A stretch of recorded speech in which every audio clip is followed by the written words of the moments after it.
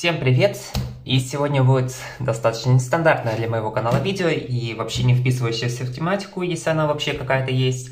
И это будет обзор, как вы уже догадались, на геймпад Canyon GPW6. А, с чего же вообще появилось желание купить этот геймпад? А, объясню это тем, что у меня на Epic Game Store сохранилась куча классных игр, типа Rise of the Tomb Raider, Watch Dogs 2 и еще что-нибудь такое вот дополнительное, знаете? И мне захотелось это пройти. И, честно скажу, такие игры, которые разрабатывались хорошенько так под геймпад, типа Rise of the Tomb Raider, я понял, что мне гораздо комфортнее проходить на геймпаде. И с такой целью найти хороший геймпад за умеренную цену, я полез на онлайнер и, естественно, там ни хрена не нашел. Точнее, нашел, но, как оказалось, в магазине нужной модели не было. У нас в Беларуси распространен такой магазин, как Пятый Элемент. Там продается различная техника. И первым делом, как я зашел в игровой отдел, это был единственный джойстик, который, в принципе, там продавался. Вот как он выглядит. Он на батарейках, э, как и Xbox.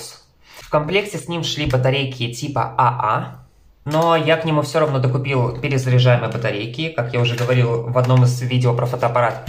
Rechargeable. Покупайте Rechargeable и желательно на хорошую такую вот емкость типа 2100 мАч, потому что это реально сыграет вам на руку. Итак, перейдем к основным характеристикам. У геймпада есть виброотдача, также 4 режима ввода, то есть X-input, D-input и какое-то еще там управление. Я, честно говоря, не разбирался, потому что в первый день у меня была такая эйфория, вау-вау-вау, ой, что это? Давайте перейдем сразу же к обзору нашего геймпада в действии.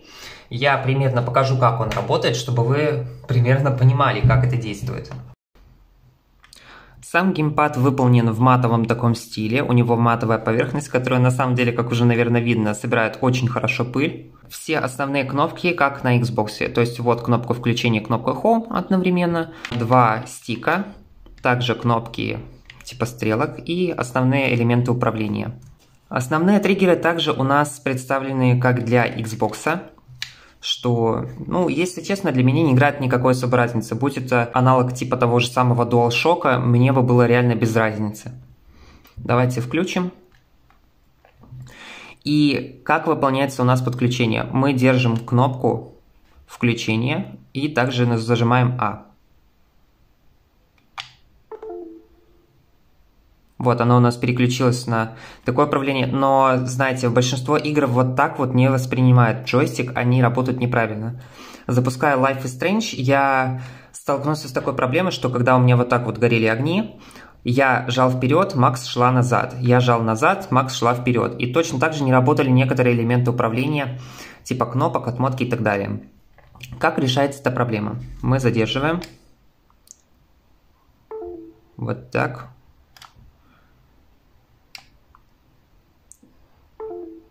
И вот так. Все, у нас переключился на X-input. И в этом режиме у нас работают все функции, то есть и вибрация, которая должна быть в этом джойстике. Там два вибромотора встроены. И точно так же полностью корректно работают все кнопки и элементы управления.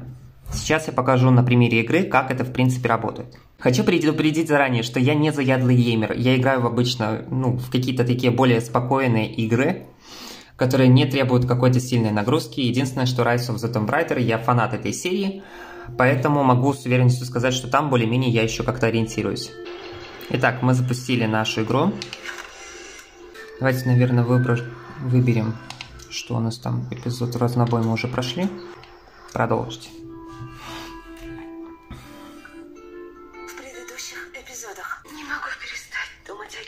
Итак, э, управление перешло к нам. Давайте посмотрим, как работает джойстик. Если что, всегда можно настроить. Так, проверим вибрацию.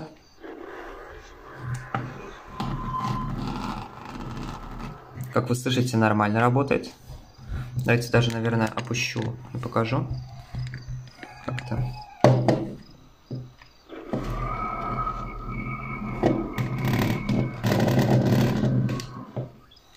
То есть, видите, да, нормально работает. Поэтому с уверенностью могу сказать, что для большинства игр этот джойстик, мне кажется, будет дешевым и отличным вариантом. У нас в Беларуси в пятом элементе он стоил 70 рублей и за свою цену предлагает достаточно хороший дизайн, э, хорошее управление и точно так же не требует никаких настроек. То есть он подключается по USB.